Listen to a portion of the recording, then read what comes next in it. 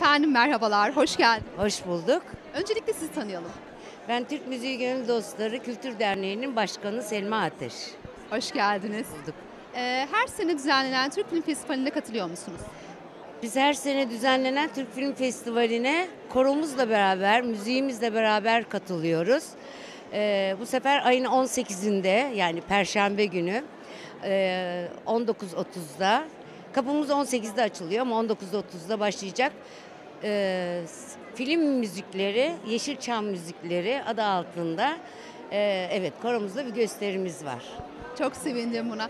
Peki fikirlerinizi alabilir miyiz? Frankfurt'ta düzenlenen her yıl film festivali konusunda ne düşünüyorsunuz?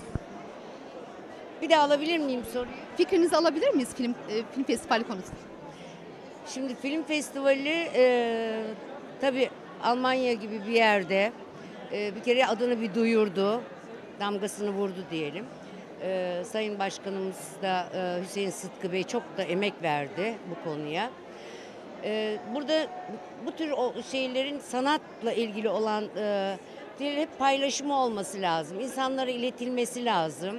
E, çünkü e, başka türlü tanıtım yolumuz yok.